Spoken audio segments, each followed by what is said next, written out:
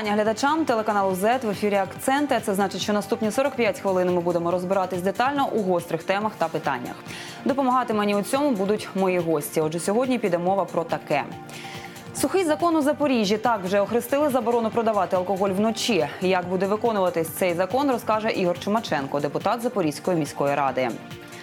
У новий навчальний рік у відремонтованих приміщеннях про капітальні ремонти у школах та дитячих садках розповість Юлія Погребняк, директорка департаменту освіти Запорізької міської ради. Сухий закон у Запоріжжі заборонили продавати алкоголь після 10-ї вечора.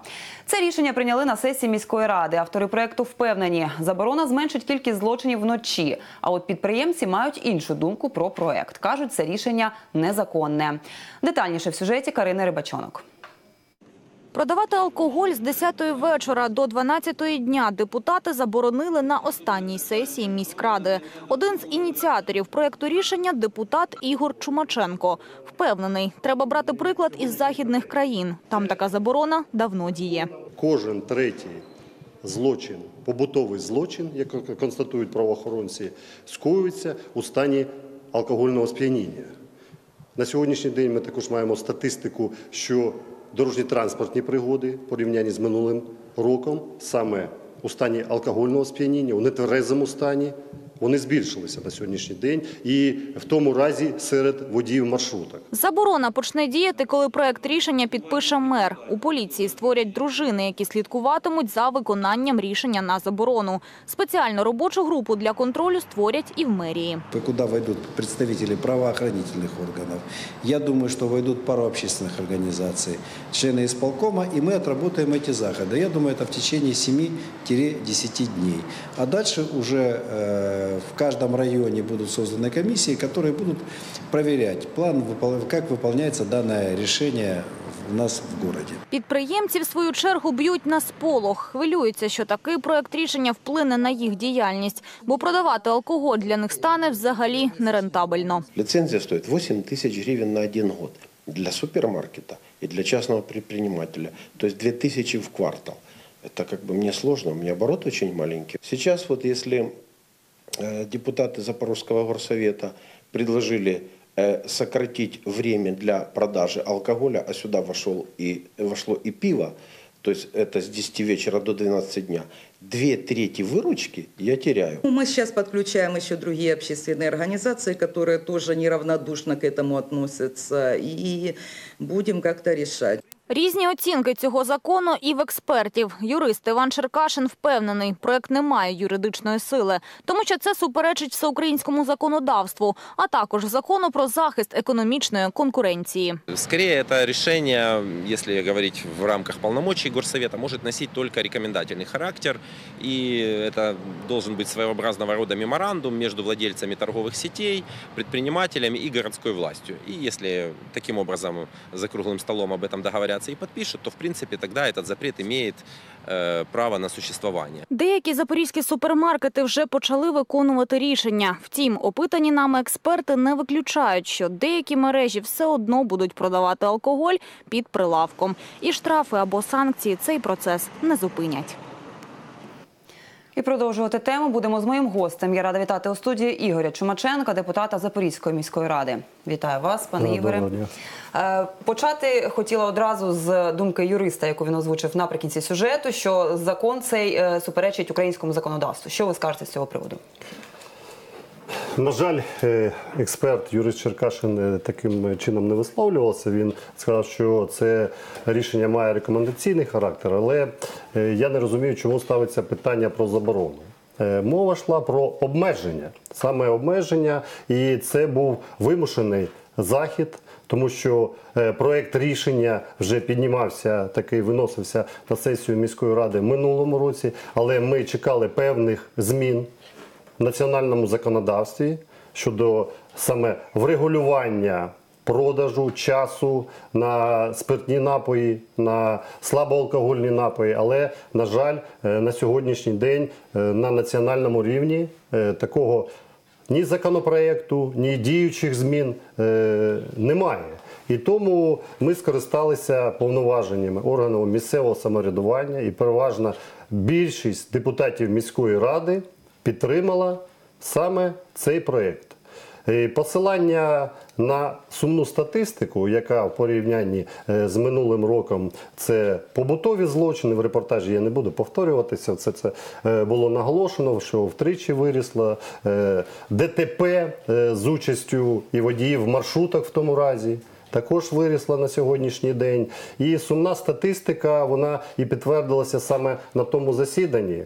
На минулому засіданні сесії міської ради, коли приймалися, це е, на, на початку сесії було звітування очільників двох місцевих е, прокуратур, які фактично підвели саме е, винесення рішення в додаткових питаннях на сесійному розгляді, і тому я вважаю, воно було підтримано.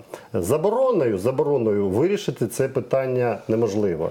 І тому ставити, по-перше, питання і в суспільстві, і серед мешканців міста Запоріжжя потрібно е, стосовно культури, саме споживання алкоголю. Да, на сьогоднішній день вона формується. Я це бачу, спілкуючись е, і з підприємцями, і з мешканцями міста, своїми виборцями. Тобто е, більшість у молоді таких е, сподівань саме в напрямі життя це спорт фізичне виховання, е, раціональне, е, раціональне питання на сьо- на сьогоднішній день, харчування, вибачаюсь.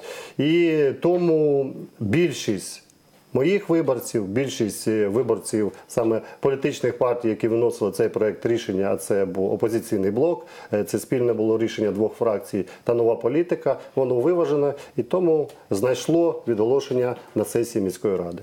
От ви сказали, що не варто називати це забороною, а слід називати це обмеженням. А яка різниця? Обмеження З тому- юридичної точки зору, давайте З юридичної точки зору цей е, про- проект був не сирий. Він пройшов і розгляд на засіданнях двох фракцій. Е, Початковий варіант був це встановлення саме 20.00. 20.00 до 12.00. Але е, ті приклади, які є в таких великих містах, як Київ, Львів, ну довели все ж таки, що це обмеження у продажі алкоголю треба встановити саме з 22 години до 12 години наступного дня. Тобто, користуючись вашою логікою, усі е, кримінальні дії кояться лише вночі під дією алкогольних напоїв.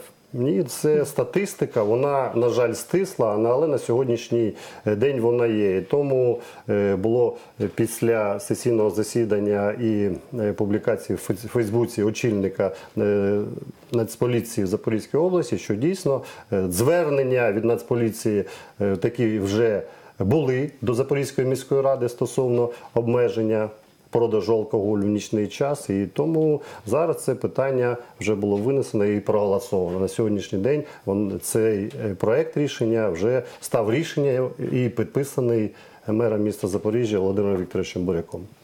Е, якщо, наприклад, я от підприємець і я порушую це обмеження, не будемо казати заборону, е, що які штрафні санкції на мене очікують? Штрафні санкції, мова не стоїть про штрафні санкції. Мова стоїть про налагодження співпраці між міською владою та підприємцями. Тобто ми завжди наголошуємо, що це дорога з двостороннім рухом. Тобто ті вимоги, які ставить суспільство, фактично вони е, розглядаються на сесійних засіданнях, комісіях постійних міської ради і виносяться на сесії. Це не спонтанні рішення, це виважені рішення. І тому е, це рішення, яке вже на сьогоднішній день воно буде. Е, На жаль, оприлюднено е, на наступному тижню, але воно вже вступило фактично в дію. Вона є таким меморандумом між міською владою та підприємствами. А саме заходи для врегулювання цього рішення і контроль на них е, покладено на заступника міського г- голову е, пана Еделєва. І я е, найближчим часом і громада, і депутатський корпус вже заслухає е, саме яким чином буде виконуватися це рішення. Тобто ще не прописані штрафні санкції, якісь е, е, що очікує на правопорушників? На правопорушників на сьогоднішній день є обмеження. обмеження. А далі вже механізм, механізм реалізації цього рішення він буде наданий саме через рішення виконкому і буде наголошений на постійних комісіях і доведений належним чином в засобах масової інформації саме. Е, заступником міського голови і постійною комісією, на яку покладено контроль за виконанням цього рішення. Кого в першу чергу стосується це обмеження? І де можна, е, наприклад, вживати алкоголь після 22 години?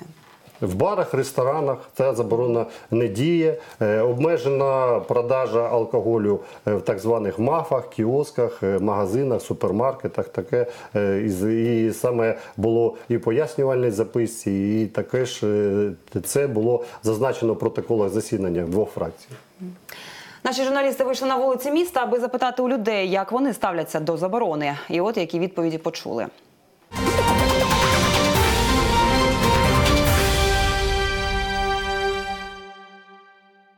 Да, я полностью за. Даже более того, я скажу, что я против алкоголя и вообще э, решил бы его э, убрать полностью из страны, из э, употребления вообще как такового. Ну, потому что я считаю это как э, разрешенные наркотики. Абсолютно правильное решение. Потому что я живу на Павла Кичкасе. И каждый раз, когда я выхожу гулять после 9 вечера, я встречаю очень много людей пьяных. Из-за границы это уже давно. Из-за границы не разрешают э, детям, которым нет 18 лет, им не отпускают алкоголь. И то, что у нас запретили, это чудесно. Ну, я считаю, что особой пользы от этого не будет. Ну, потому что прием алкоголя это не вопрос продажи его, а вопрос э, решения в момент принятия решения о покупке его. Это воспитание, образование и так далее. А запретить продажу, обычно запреты, с помощью таких запретов появляются какие-то теневые точки продаж. Очень много молодежи пьет, а так хотя бы вот этих всяких драк, разборок ничего не будет. Это вред организму, и я за спорт, я сам занимаюсь спортом, футболом.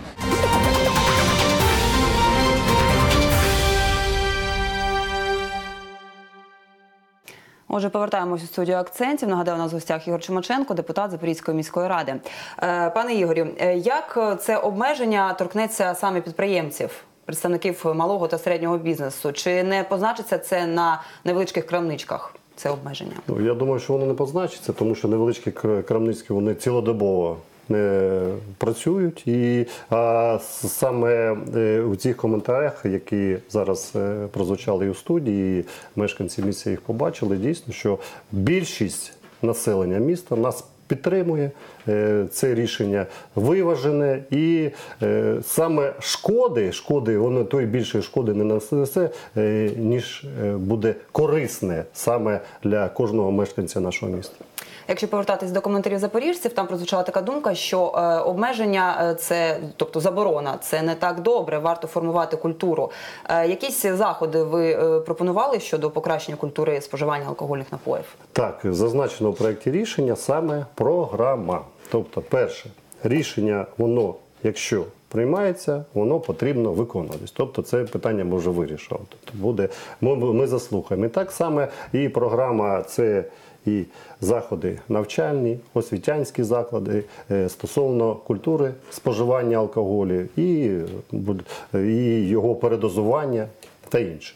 Е, Ця програма вона вже є, вона вже існує, чи вона зараз Вона е, запропонована, і я думаю, також обговорення е, між депутатськими фракціями буде винесено на постійні комісії, на найближчі засідання виконавчого комітету міської ради, і далі буде оприлюднено е, в офіційних засобах масової інформації. Тобто зараз з нею ознайомитися ще не можна. Е, Поки У вільному доступі її немає. в вільному доступі немає, як і рішення. На жаль, чомусь Запорізька Січ не встигла його оприлюднити. Е, Буде наступного четверга це рішення оприлюднене, і вже мешканці міста ознайомляться вже з редакцією, яка буде знаходитися на паперових носіях. Коли ви розробляли цей проект, цю програму, ви е, орієнтувались на досвід інших країн? Так, безумовно. Розкажіть трохи Безумовно, про, про те, на які країни ви орієнтувалися. Е, Безумовно, ми орієнтувалися, наприклад, Швеція, де діє також обмеження на торгівлю спиртними, е, слабоалкогольними, пивом. Тобто продаж здійснюється у будні з 10 до 18, у суботу, наприклад, з 10 до 15, у неділю заборона повністю. Там, наприклад, в Іспанії існує заборона продажу е, алкоголю, слабоалкогольних напоїв на стадіонах. Такі ж обмеження існують у Португалії, у Сполучених Штатах Америки. У Франції така е, навіть держава лояльна до е, вживання алкоголю, заборонена реклама алкоголю. Тобто, чому тут у нас на національному рівні це питання піднімається і воно кудись там шизає. Ну, це також незрозуміло. Тобто найближчим часом буде підготовлено і від депутатських фракцій. Я також думаю, що підтримують депутати міської ради саме звернення щодо заборони реклами алкогольних виробів саме на телебаченні, в засобах масової інформації, тому що це світова практика, її треба продовжувати і в Україні. Дійсно, закон на заборону продажу алкоголю у нічний час це не запорізьке ноу-хау. Аналогічні заборони діють у різних країнах світу. Наші журналісти дослідили цю тенденцію. Пропоную переглянути невеличкий матеріал з цього приводу. Швеція. Алкоголь у Швеції можна купити лише у державних спеціалізованих крамницях. Слідкують у Швеції і за часом. Продаж алкоголю заборонений після шостої вечора. У неділю такі крамниці не працюють. Норвегія. На продаж алкоголю впливає вміст спирту у виробі. Напої з високим вмістом спирту можуть придбати лише туристи у спеціальних точках продажу. Для місцевих жителів такі магазини відкриті у денний час. Норвежцям влада пропонує обирати слабоалкогольні вироби. Ірландія. У Ірландії діє заборона на показ алкоголю у вітринах магазинів. Контролюють і час продажу. Раніше 11 ранку крамниці з алкоголем не працюють. Дозволені місця, паби та деякі ресторани. Литва. Кіоски та маленькі крамнички з алкоголем тут заборонені. Придбати його можна до 10 вечора у великих промислових магазинах з державними дозволами. Повертаємося у студію акцентів. Нагадаю, у нас в гостях Ігор Чумаченко, депутат Запорізької міської ради. Е, Пане Ігорі, ви голова комісії з питань комунальної власності, ресурсів, приватизації, архітектури та земельних відносин. Е, Розкажіть, чи е, ведеться зараз робота щодо спрощення процедури оформлення земельних ділянок? Так, на сьогоднішній день діє регламент в редакції 2014 року, саме регламент щодо звернень громадян. Мешканців місця з питань оформлення земельних ділянок. Це вже наступний шаг, яка, який реалізовано земельною комісією. Тобто, я нагадаю, що е, взимку нам ми виносили саме земельної комісії на розгляд сесії міської ради, е, спрощення саме е, встановлення ставки оренди для дачних кооперативів, для е, садівничих кооперативів від 3% до 0,03, тобто певні зміни будуть в податковому кодексі. І зараз наступним шагом нами було прийнято рішення на земельній комісії ще е, восени саме спрощення процедури оформлення земельних ділянок. Тому що на сьогоднішній день регламент, на який я посилався, він застарів, тобто е, протирічить нормам діючого земельного е, законодавства. Тобто е, ми вимагаємо якусь дер- державну реєстрацію, посилаємося на нормативи, які не існують, якісь там печатки, обов'язково якесь посвідчення, листи погодження, якісь там такі надумані. Да, може на той час воно і працювало, але на сьогоднішній день ми все-таки повертаємося к принципу єдиного окна. Тобто більшість звернень громадян це оформлення приватну власність земельних ділянок в садівничих товариствах та приватний сектор. Це більше це віс- 80%. І тому, щоб вже накопичувати і е, давати е, змогу включити таке зелене світло для мешканців міста. У нас наработаний вже новий регламент саме цих розглядів, який ми е, буквально вивісимо е, найближчим часом і розглянемо вже в процедурі, яка прописана в законі. Ну, трошки про цей регламент можете розказати, хоча б оглядово. Оглядово, ну з якими питаннями звертаються? Питання поновлення договорів оренди, е, питання викупу земельних е, ділянок, поділу земельних ділянок. І в переліку перелік складається з 10 там позицій. Да? Тобто е, листи погодження вимагає регламент від департаменту архітектури і містобудування, але вони не передбачені чинним законодавством. Тобто такі листи на сьогоднішній день ті- тільки обтяжують цю процедуру. Е, Також е, не передбачена якось е, кажу печатка на сьогоднішній день. Тобто, а цей регламент вимагає цю печатку. І оці такі маленькі заборони у сукупності вони вже складають такий складний. Механізм, і саме головне, головне, що е, громадянин мешканець місця втрачає багато часу на оформлення тої ділянкою своєю власністю вже фактично, користує багато років. І вже формальне внесення в реєстр саме свого права власності, набуття його, воно е, переростає не в один місяць, на жаль, як зазначено в регламенті. Рішення, які прийняли на останній сесії міськради, безперечно увійдуть в історію. А які події вже стали частиною історичного календарю, дізнаємось просто зараз з рубрики Цей день в історії.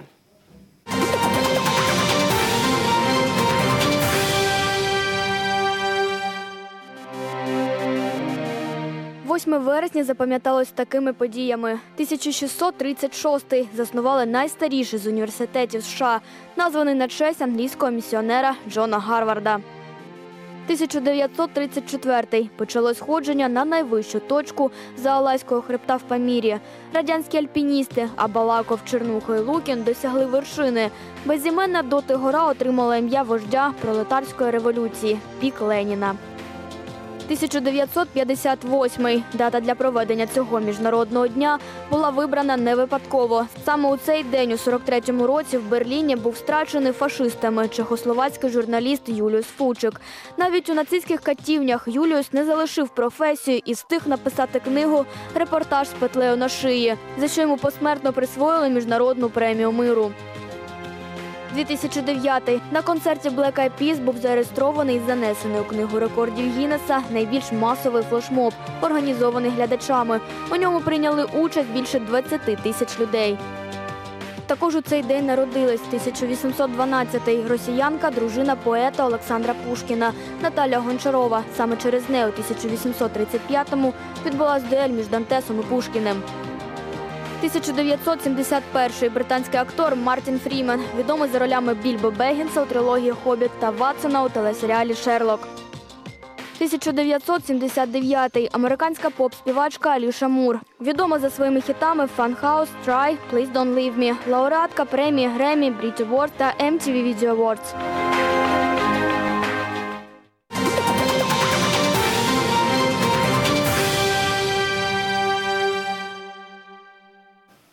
Тривають акценти. Нагадаю, ми спілкуємося з Ігорем Чумаченком, депутатом Запорізької міської ради.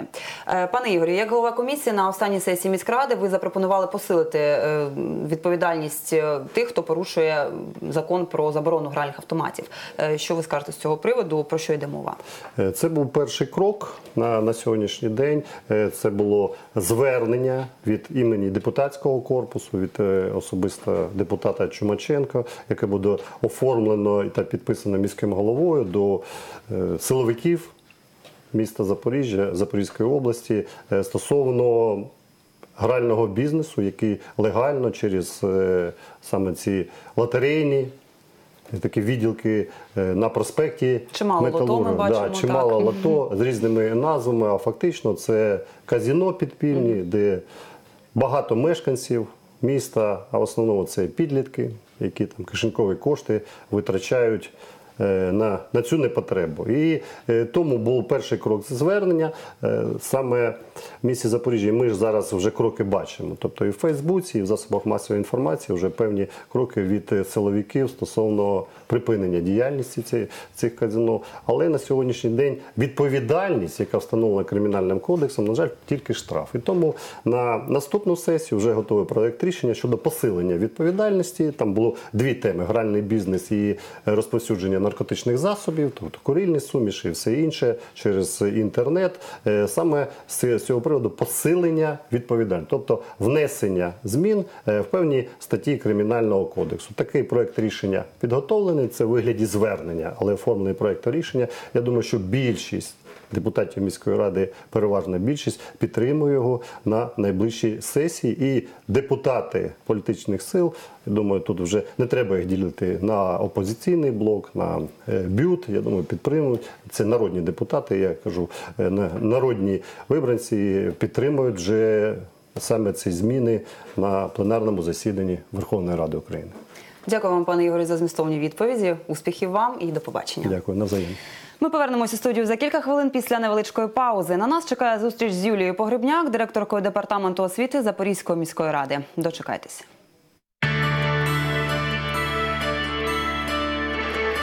Дивіться перший інформаційний телеканал Запоріжжя.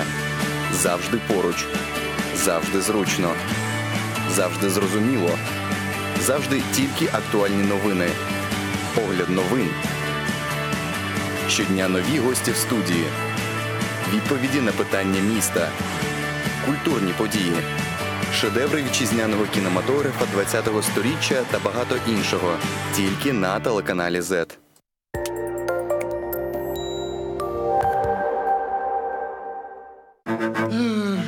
У судді слухається справа номер 13. Ага. В залі присутній представник позивача. Хто? Гришин! Гришин! Той самий. Там, де Гришин, там перемога. Міжнародна юридична фірма Ярослав Гришин та партнери. Запорізький політехнічний центр професійно-технічної освіти запрошує випускників шкіл на безкоштовне навчання за професіями: машиніст крана металургійного виробництва, електрогазозварник, електрозварник на автоматичних та напівавтоматичних машинах, електромонтер з ремонту та обслуговування електроустаткування, кухар-кондитер, оператор поштового зв'язку. Стипендія гарантоване працевлаштування. Приймальна комісія працює з 8.00 до 16.30. Телефони для довідок 050 801 79 16 099 627 48 38 093 486 31 92. Не знаешь, чем сегодня заняться? Где выгодно продать авто? Снять или купить жилье? Где найти новую работу? Не знаешь, где продать старое барахло или заказать новые окна? Справочник предприятий, афиша, недвижимость, работа, доска объявлений, автобазар. Не забивай голову. Вся самая полная информация на сайте города Запорожья 061 UA.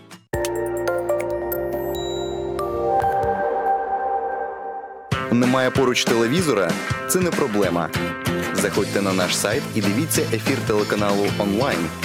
Будьте завжди в курсі всіх найактуальніших подій нашого міста. Телеканал Z. завжди зручно. Повертаємось у студію акцентів з турботою про дітей. У Запоріжжі ремонтують навчальні заклади.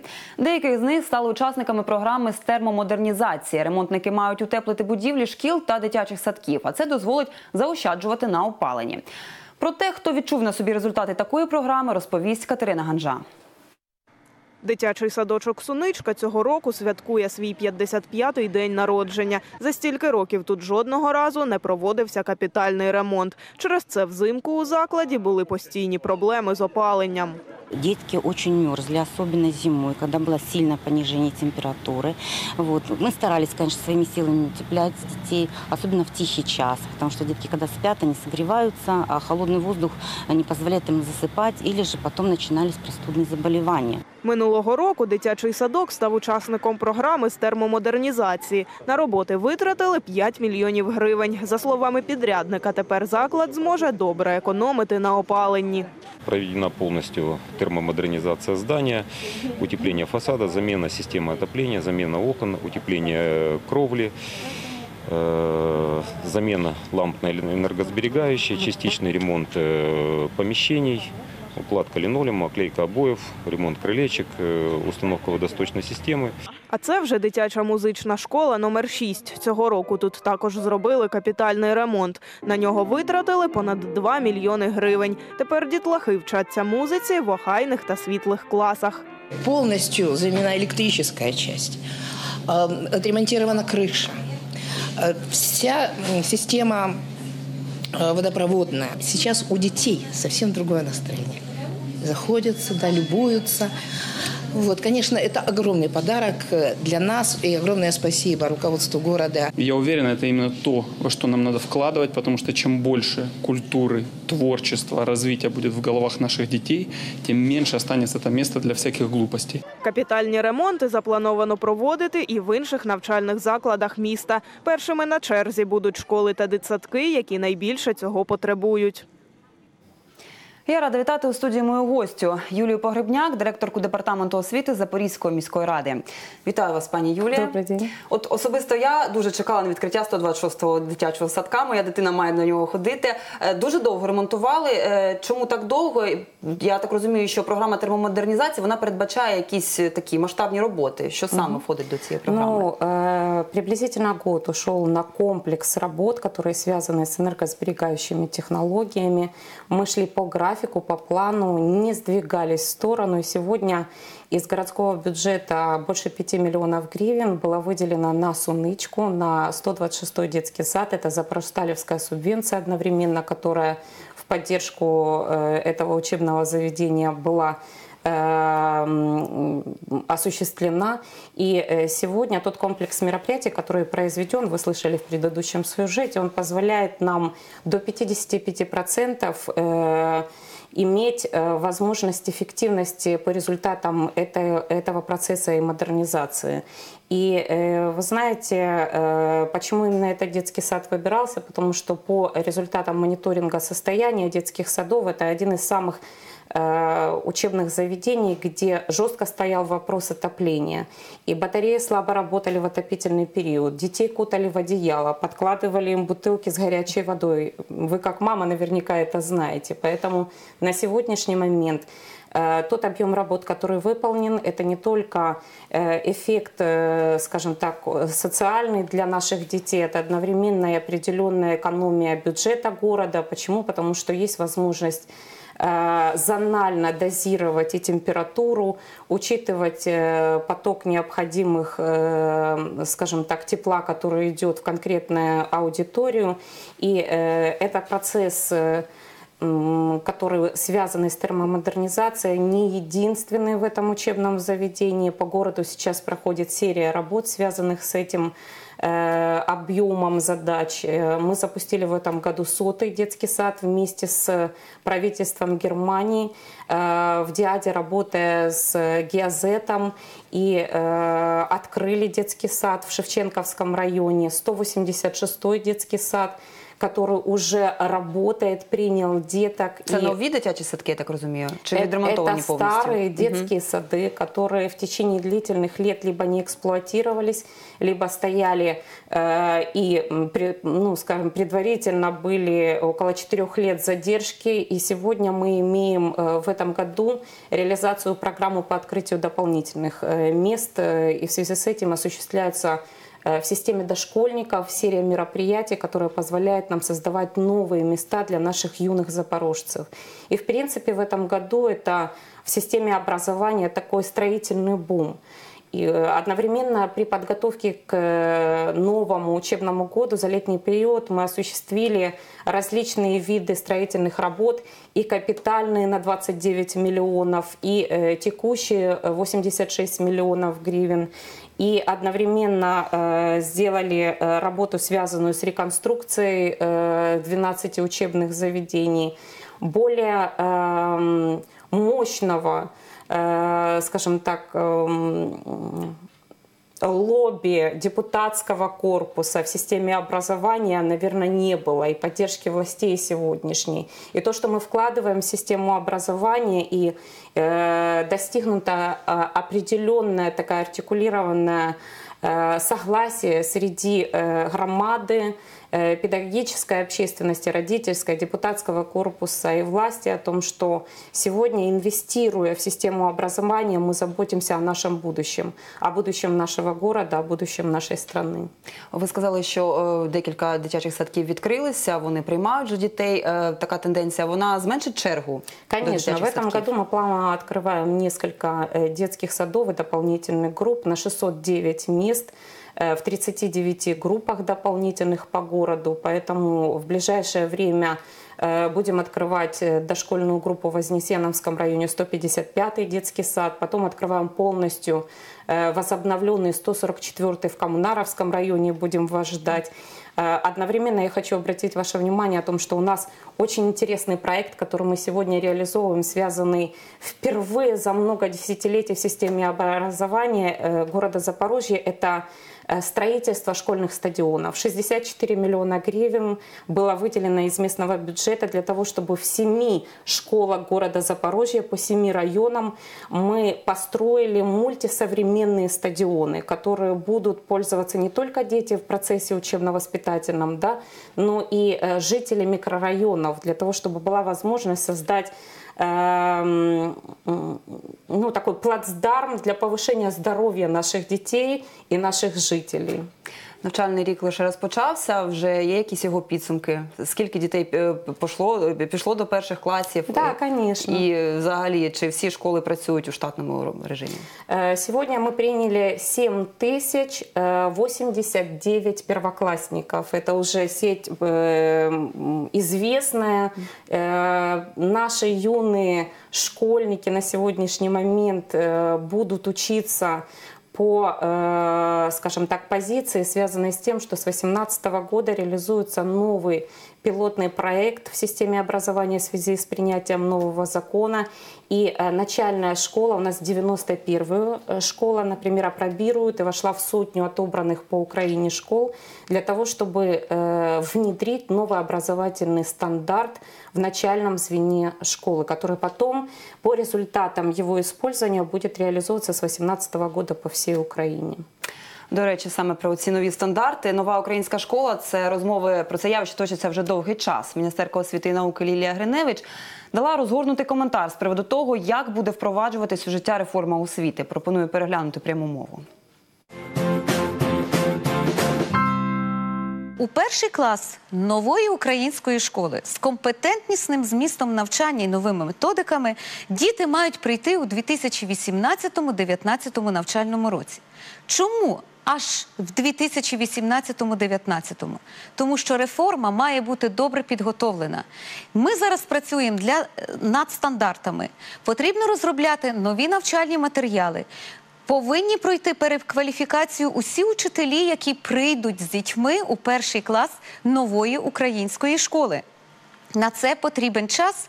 І зараз для нас важливо, щоб був ухвалений закон про освіту, ухвалена концепція нової української школи, і найголовніше підтримана зусиллями всього суспільства.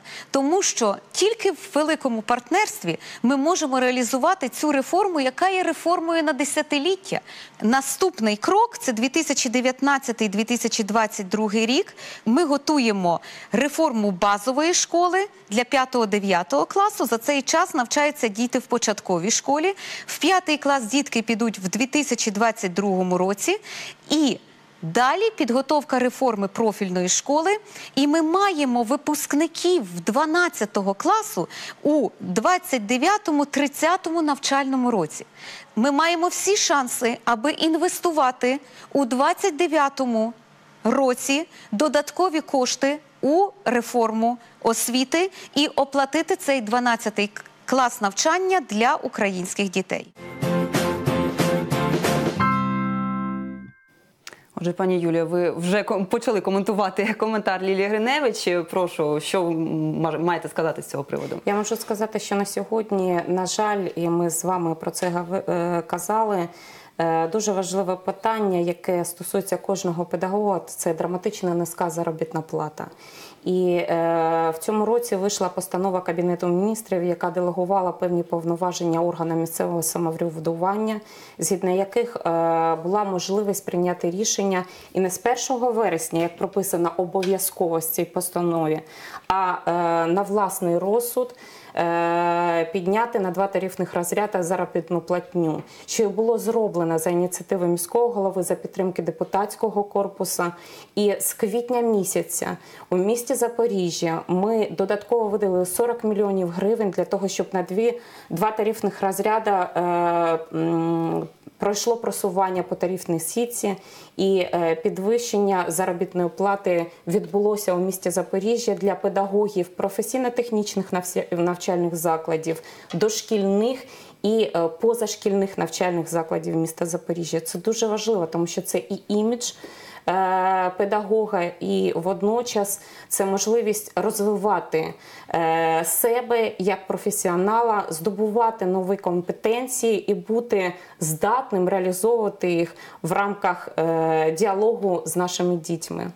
Нова українська школа вона передбачає впровадження комп'ютерних систем е, м- медійної Да, освіти, перехід на більш медійну освіту. Е, Чи готова Запоріжжя до таких змін? Я, вы знаете, уверена, что по Украине редко могут кто-то похвастаться таким шагом вперед в рамках реализации эм, программы, связанной с компьютеризацией учебных заведений. Мы выделили 20 миллионов гривен для того, чтобы в каждую школу 111 компьютерных классов была возможность э, поставить, и дети наши имели непосредственный доступ к новым информационным технологиям. Э, Мы выделили более миллиона гривен на закупку ноутбуков для детских садов. И э, сегодня стоит вопрос э, создания с этого года и в 2018 году уникального проекта для Украины в принципе. Это внедрение новой технологии STEAM и STREAM-технологий. И уже в этом году мы при Коммунарском внешкольном учебном заведении открыли STEAM-центр, выделили около 800 тысяч гривен для закупки Arduino технології, робототехніки, комп'ютерної техніки. І Трохи розкажіть детальніше, що таке STEM-центри. Це ваш проект, проект департаменту. Розкажіть Это трохи проект детальніше про нього. департамента, Так. да. Это новая тенденция, это мировая технология, пробированная, которая позволяет развивать эм, математическое, инженерное мышление у детей. Мы с вами живем в промышленном городе, и для нас это тот ресурс, который мы должны развивать для того, чтобы поднять на определенный уровень э, и уровень жизни нашего населения, и возможность по-другому мыслить наших детей. Потому что сегодня уже мы должны с вами задумываться, какими компетентностями должен выпускник школы обладать, чтобы быть востребованным во взрослой жизни. К сожалению, так происходит, что та рамка квалификации, которая была упущена ну, на верхнем уровне, сегодня, слава богу, сформирована, и мы уже знаем, куда направлять наших детей.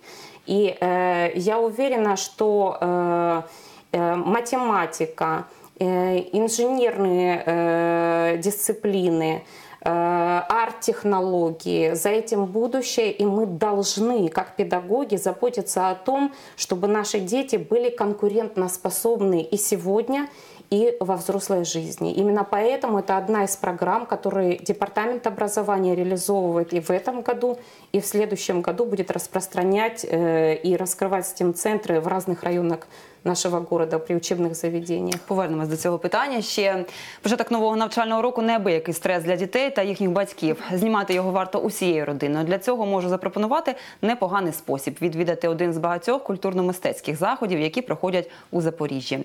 Рубрика Афіша далі.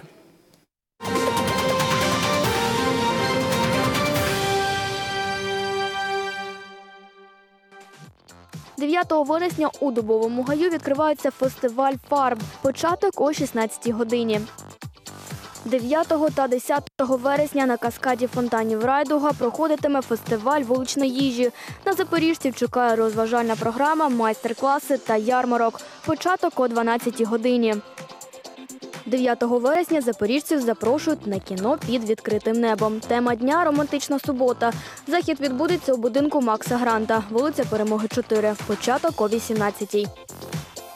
Арт-простір запрошує шанувальників прекрасного на показ опери Кармен. Вистава проходитиме просто неба на площі біля обласної універсальної бібліотеки. Початок о 20.00.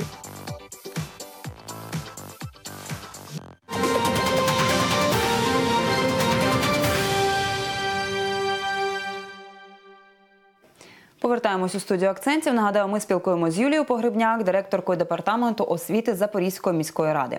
Пані Юлія, нещодавно е, пройшов конгрес методистів. Е, Що це за конгрес і чи будуть ще подібні масштабні проекти реалізовуватись протягом поточного навчального року? Будет. И мы двигаемся в направлении развития, а не просто поддержания системы на одном уровне. Для меня очень важно, как для руководителя департамента, дать людям возможность почувствовать себя в новых плоскостях, связанных с коммуникациями в профессиональном поле. И э, не случайно сегодня мы делаем задел, и в 31 октября э, реализовываем новый проект. Это первый международный саммит педагогический в городе Запорожье э, по дошкольному образованию э, «Социальный простор в рамках глобализации мировой, световой». И э, м, уже мы понимаем, что более 10 стран будут представители присутствовать на этом э, саммите. Одновременно мы э, продолжаем проекты, связанные с подготовкой управленческих кадров. Вы наверняка слышали, что у нас есть проект «Управленческая кадровая сотня», который начал свою работу в том году, по результатам которого три руководителя школ уже были в этом году э, назначены на новые должности. И таких проектов масса. Мы будем рады, если к нам будут присоединяться не только педагоги города Запорожья, не только Украины, но и мировой практики представители. Дякую вам, пані Юлія, за змістовні відповіді. Успіхів вам Спасибо і до большое. побачення. Благодарю. Навчатися із задоволенням у будь-якому віці та відпочивати зі смаком. Бажаю глядачам акцентів. Я і прощаюсь до наступної зустрічі.